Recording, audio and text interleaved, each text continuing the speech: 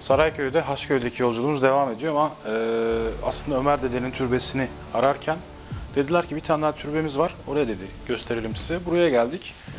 Mezar taşında Abdülkadir dede yazıyor. Kitaplarda veya kaynakların hiçbirinde yok maalesef.